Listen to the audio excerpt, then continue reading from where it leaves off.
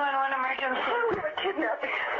Hurry, please. Explain to me what's going on, okay? There, we have a, there's a note left in our daughter's gun.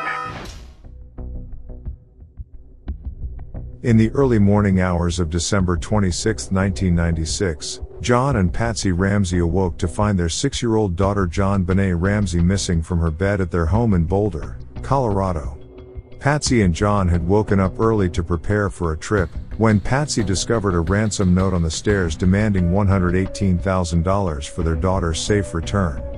Despite the note's warning not to involve police, Patsy immediately called them, as well as friends and family in order to aid in the search for JonBenét Ramsey. Police arrived at 5:55 a.m. and found no signs of forced entry, but did not search the basement, where her body would eventually be found. Before JonBenét's body was even found, there were many investigative mistakes made.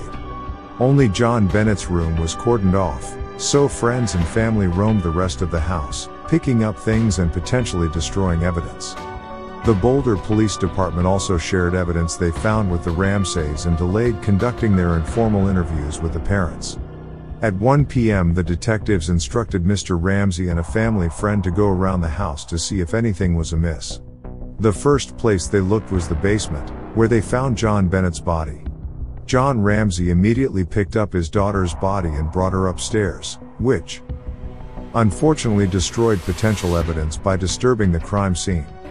During the autopsy, it was discovered that JonBenét Ramsey had died from asphyxiation due to strangulation, in addition to a skull fracture. Her mouth had been covered in duct tape and her wrists and neck were wrapped with a white cord. Her torso, had been covered in a white blanket. There was no conclusive evidence of rape as no semen was found on the body and her vagina appeared to have been wiped clean. Although a sexual assault had occurred. The makeshift garrote was made using a length of cord and part of a paintbrush from the basement. The coroner also found what was believed to be pineapple in JonBenét's stomach. Her parents do not remember giving her any the night before she died but there was a bowl of pineapple in the kitchen which had her nine-year-old brother Burke's fingerprints on it. However, this meant little since time cannot be attributed to fingerprints. The Ramseys maintained Burke was in his room all night asleep, and there was never any physical evidence to reflect otherwise. There are two popular theories in the Ramsey case, the family theory and the intruder theory. The initial investigation focused heavily on the Ramsey family for many reasons. The police felt that the ransom note was staged as it was unusually long, written using a pen and paper from the Ramsey's house, and demanded almost the exact amount of money that John had received as a bonus earlier that year. Additionally, the Ramseys were reluctant to cooperate with police, though they later said this was because they feared the police would not conduct a full investigation and target them as easy suspects. However, all three members of the immediate family were questioned by investigators and submitted handwriting samples to compare to the ransom letter. Both John and Burke were cleared of any suspicion of writing the note. Although much was made that Patsy could not be conclusively cleared by her handwriting sample, this analysis was not further supported by any other evidence. Despite a larger pool of suspects, the media immediately focused on JonBenét's parents, and they spent years under the harsh limelight of the public eye. In 1999, a Colorado grand jury voted to indict the Ramseys on child endangerment and obstruction of a murder investigation. However, the prosecutor felt that the evidence did not meet the beyond a reasonable doubt standard and declined to prosecute. JonBenét's parents were never officially named as suspects in the murder. Alternatively, the intruder theory had lots of physical evidence to support it. There was a boot print found next to JonBenét's body which did not belong to anyone in the family. There was also a broken window in the basement which was believed to be the most likely point of entry for an intruder. Additionally, there was DNA from drops of blood from an unknown male found on her underwear.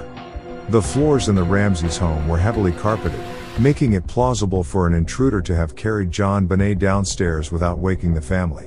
One of the most famous suspects was John Karr. He was arrested in 2006 when he confessed to killing JonBenét by accident, after he had drugged and sexually assaulted her. Karr was eventually dismissed as a suspect after it was revealed that no drugs had been found in JonBenét's system. Police could not confirm he was in Boulder at the time, and his DNA did not match the profile generated from the samples found. Much of the recent investigation in the case revolves around the DNA profiles developed from the sample found in her underwear and the touch DNA later developed from her long johns. The profile from her underwear was entered into CODIS, the National DNA Database, in 2003, but no matches have been identified.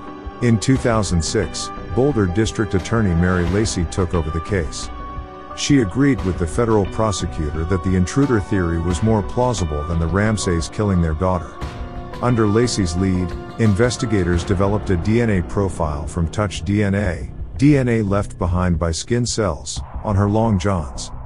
In 2008, Lacy released a statement detailing the DNA evidence and fully exonerating the Ramsey family, saying in part, the Boulder District Attorney's Office does not consider any member of the Ramsey family, including John, Patsy, or Burke Ramsey, as suspects in this case. We make this announcement now because we have recently obtained this new scientific evidence that adds significantly to the exculpatory value of the previous scientific evidence. Local, national, and even international publicity has focused on the murder of JonBenét Ramsey. Many members of the public came to believe that one or more of the Ramseys, including her mother or her father or even her brother, were responsible for this brutal homicide. Those suspicions were not based on evidence that had been tested in court. Rather, they were based on evidence reported by the media. In 2010 the case was officially reopened with renewed focus on the DNA samples. Further testing has been conducted on the samples and experts now believe that the sample is actually from two individuals rather than one. In 2016 it was announced that the DNA would be sent to the Colorado Bureau of Investigation to be tested using more modern methods and authorities hope to develop an even stronger DNA profile of the killer. In 2016, CBS aired the case of JonBenét Ramsey which implied her then 9-year-old brother Burke was the killer despite the fact he was cleared by the DNA evidence that proved the existence of an intruder. Burke filed a $750 million lawsuit against CBS for defamation. The case was settled in 2019, and while the terms of the settlement were not disclosed, his lawyer stated the case was amicably resolved to the satisfaction of all parties. The JonBenét Ramsey case is still open and remains unsolved.